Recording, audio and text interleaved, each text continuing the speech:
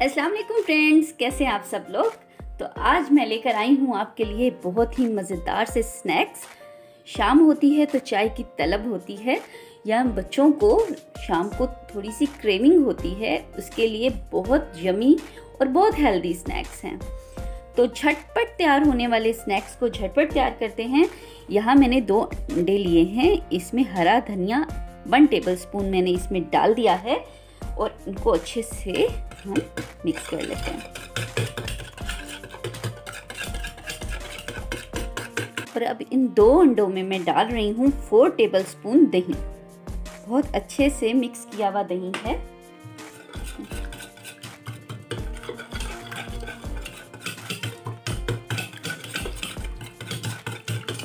अब इसमें डाल रहे हैं वन टेबल स्पून काली मिर्च वन टेबल स्पून ही नमक। हाफ़ टेबल स्पून कुटी हुई मिर्चें। स्पाइस आप अपनी पसंद से भी रख सकते हैं, कम, ज़्यादा।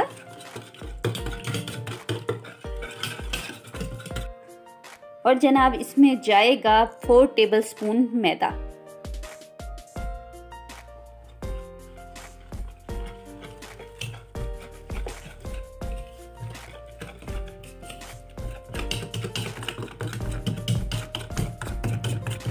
ये देखिए, इतनी थिक हमने ये पेस्ट बना लिया है, ये देखिए। और अब इसमें मिला देते हैं चीज़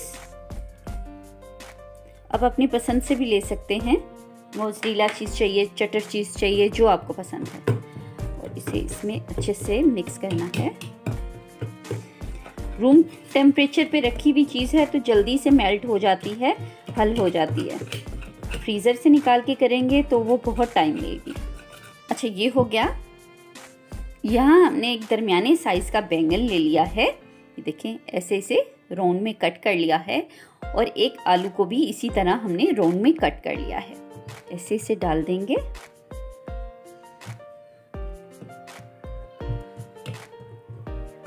स्पून की हेल्प से इसे निकालेंगे और फ्राई कर लेंगे।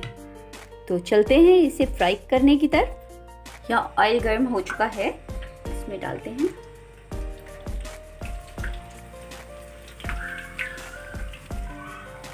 दोनों को अलग फ्राई करेंगे। आलू ज़्यादा टाइम लेते हैं और बैंगन कम टाइम लेते हैं। इन्हें निकालते हैं।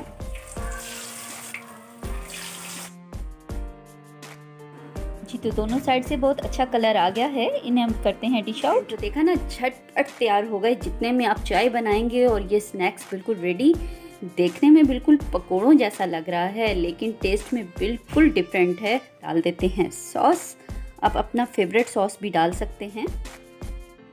ये सॉस भी मैं आपको बता चुकी हूँ कैसे बनेगा। म्योनीस है केचप है और मस्टर्ड है।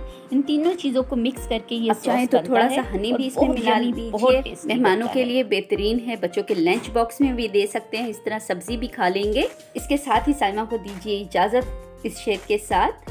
चलते रहेंगे मेरे बाद भी काफले यहाँ। चलते रहेंगे। काफले भी मेरे बाद यहाँ। फ़कत एक तारा टूटने से फलक तनहा नहीं होता। इसके साथ ही साइमा को दीजिए इजाज़त, फिर मिलेंगे किसी नई रेसिपी के साथ। तब तक के लिए अल्लाह हाफिज़।